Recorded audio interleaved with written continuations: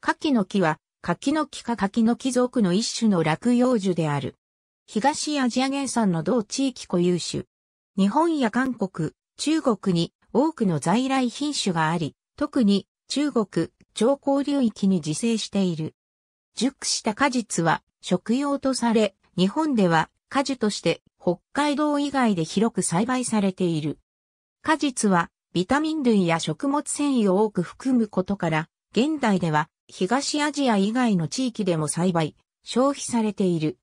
ヨーロッパ産ではスペインが9割を占め、中国に次ぐ世界第2位の生産国である。幹は家具材として用いられる。葉は茶の代わりとして加工され、飲まれることがある。果実はタンニンを多く含み、柿渋は防腐剤として用いられる。現在では世界中の温暖な地域で栽培されている。学術上の植物名は柿の木、果実は柿、あるいは一般的に両方を含めて、柿と呼んでいる。野生上の柿の木は山柿とも呼ばれている。和名柿の木の語源は赤木、暁の略語説、あるいは輝きの天下説など諸説あるが、正確にははっきりしない。原産である中国の植物名は柿である。学名はディオスピロス柿と言い、日本から1789年にヨーロッパへ1870年に北アメリカへ伝わったことから学名にも和名の発音と同じ柿の名が使われている。果実は日本で食用として親しまれた果物で、英語でも柿フルーツ、ドイツ語やフランス語など英語圏外の大抵の地域でも柿の名で通っている。英語で柿を表すパーシモンの語源は、アメリカ合衆国東部の先住民の言語である、ポーハタン語で、干し果物を意味する名詞、ペッサミンであり、先住民がアメリカ柿、ダイスパースバージニアナの実を干して保存食としていたことに基づく。近年、欧米ではイスラエル産の柿であるシャロンフルーツが流通しており、この名で呼ばれることも多い。これはシャロン平野にちなむ名である。東、アジア、中国の様子公園岸の原産と言われている。日本特産で日本で果樹として改良され、北海道を除いた青森県以南の本州、四国、九州までの各地で栽培されている。日本国外では中国、朝鮮半島、チェジュ島に分布する。団地には野生があり、山柿と呼んでいる。柿の木は野生種の山柿から作出されたという説と、古来から在来種として存在したという説とがある。16世紀にポルトガル人によりヨーロッパに渡り、その後アメリカ大陸にも広まった。現在、世界各地で栽培されている柿の木の品種の多くは甘柿であるが、原産地である東アジア地域では未だに渋柿も栽培されている。日本では昔から人里の民家近くに植えられていることが多く、よく手入れが行き届いて実も良くなることもあって、俗に柿の木は、ヘッツイの煙の当たるところを好む、根元を踏むと実が良くなるなどと言われている。落葉の小高木で、高さは4から10メートルになる。1年目の若枝には毛があり、基部には前年のガリンが残る。樹皮は肺褐色で網目状に裂ける。枝は人の手が加えられないまま放っておかれると、自重で折れてしまうこともあり、折れやすい木として認知されている。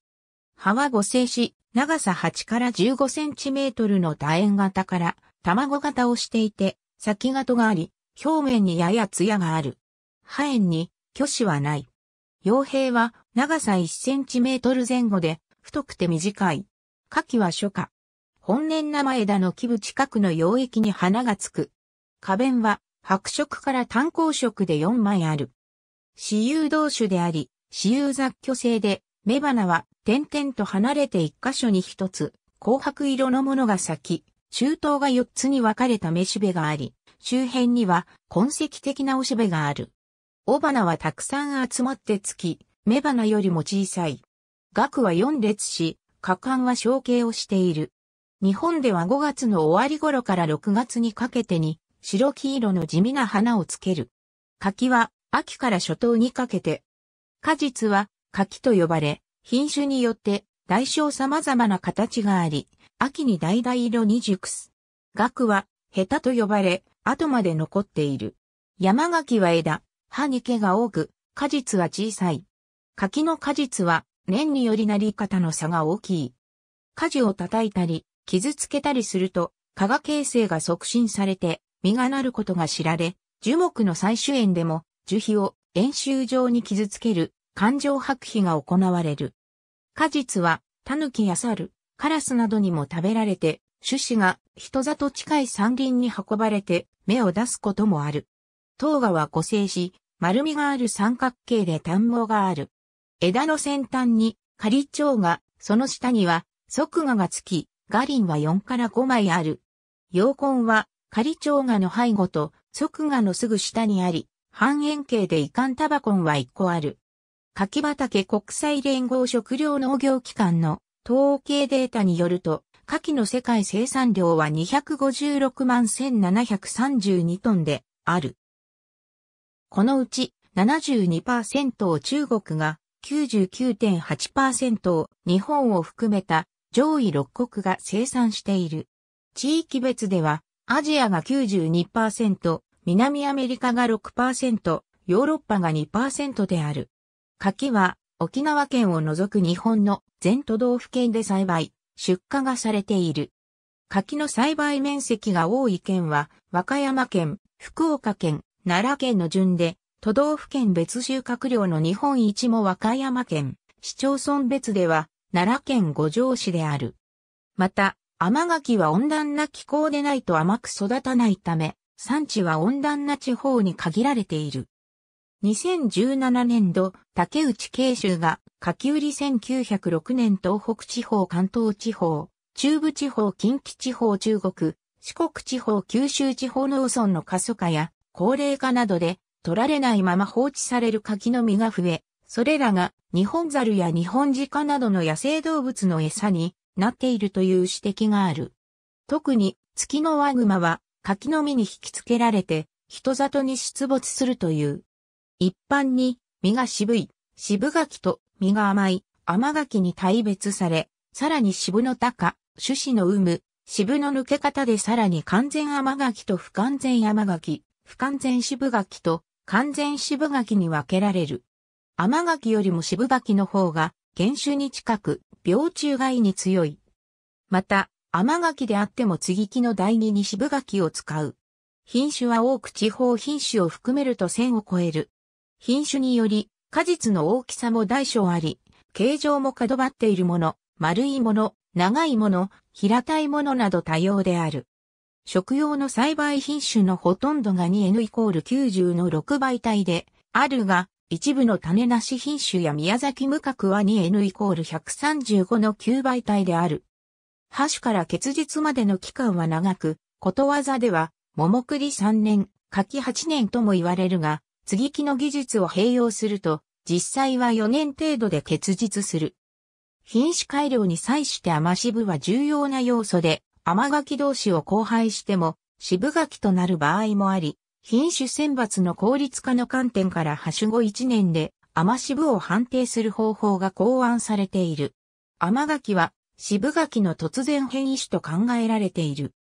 1214年に現在の神奈川県川崎市麻奥にある大禅寺で偶然発見された禅寺丸が日本初の甘柿と位置づけられている。なお、中国の螺鈿県周囲にも螺鈿天下期という甘柿が生育しており、京都大学の調査によると、日本産甘柿の形質発現は劣勢遺伝であるのに対し、螺鈿天下期は優勢遺伝で、タンニンの制御方法も全く異なっていると分かった。完全甘柿渋が、もともと少ない品種で木になった状態で成熟とともに、渋が抜けていくものを完全甘柿という。完全甘柿の代表的な品種は、冬と、二郎、五所。冬は、岐阜県水星巨層が発祥で原木がある。二郎は、静岡県森町に住んでいた、松本次郎吉に由来する。五所は、奈良県五摂氏が発祥で、突然変異で生まれた、最も古い完全甘柿である。不完全甘柿種子が多く入ると、渋が抜けるものを不完全甘柿という。不完全甘柿の代表的な品種は、上記の禅寺丸や愛知県が発祥の筆柿などがある。太秋は1995年に品種登録された中性種で熊本県が中心となって栽培しており、全国で急速に人気を高めている。渋柿は実が熟しても果肉が硬いうちは渋が残る柿である。代表的な品種は平角夢と利根早生である。平角夢は新潟県が発祥である。利根早生は奈良県天理市の利根市区民の農園で栽培されていた平角夢から1959年に枝代わりとして見出され、1980年に品種登録された。不完全渋柿種子が入っても渋が一部に残るものを不完全渋柿という。完全渋柿種子が入っても渋が抜けないものを完全渋柿という。ただし、完全渋柿も熟死になれば渋は抜ける。柿は弥生時代以降に桃や梅、杏ズなどと共に栽培種が大陸から伝来したものと考えられている。鎌倉時代の考古遺跡からは流木の検出事例があり、この頃には甘柿が作られ、果実収穫を目的とした植栽が行われていたと考えられている。柿の果肉にはタンニン細胞があり、渋みの原因となるタンニンを含有する。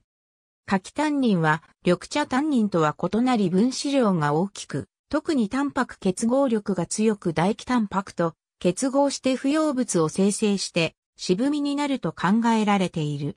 品種によりタンニン細胞の数や形状は異なる。完全甘柿のように渋がもともと少ない品種もある。渋柿には1から2%の柿タンニンを含む。果実中の柿タンニンは水に溶ける可溶性の間は味覚が渋く感じ、果実が熟して水に溶けない不溶性に変わる活版となると渋みを感じなくなる。具体的には、成熟によりアセトアルデヒドが増えて、水溶性のタンニンの間に活況が起こりタンニンが不溶性となることで渋みを感じなくなる。熟死になると実は軟化するが、熟死になる前の軟化していない状態でも、果実中にアセトアルデヒドを生成させることで渋を抜くことができる。食べ方は多様で、一般に生殖するが、完熟して崩れんばかりのものを賞味する場合があったり、渋柿は干し柿にしたり、柿羊羹などの菓子材料などに加工したりする。中国の北京では、冬にシャーベット状になったものを食べるという食べ方もある。果実に含まれる主な有効成分は、グルコースマンニットなどの糖質10%、ペクチン、色素のカロチノイド、柿タンニーなどがある。柿タンニンはビタミン P によく似た分子構造で毛細血管の透過性を高めて高血圧を防ぐ効果があると言われている。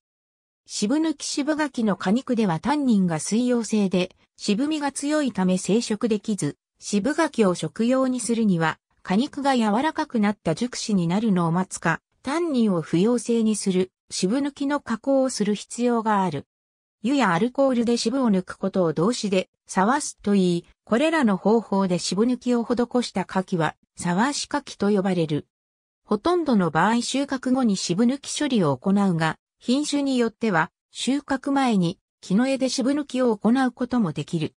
渋柿のタンニンの性質は品種間で異なっており、適する渋抜き方法は異なる。なお、加熱により不要化した柿タンニンが再び水溶性になり渋くなる現象を渋戻りという。干し柿以外の加工食品生食、干し柿の他に次のような食品に加工されている。日本料理では、風呂吹きの他に、ナマスや和え物に使われる。